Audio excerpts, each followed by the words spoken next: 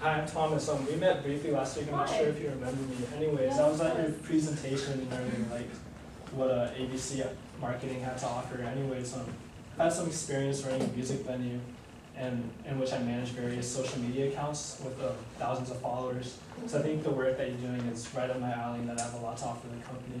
Um, if we can exchange information so I can submit a resume, I'd really appreciate that. Yes, of course, yeah, please, uh, give me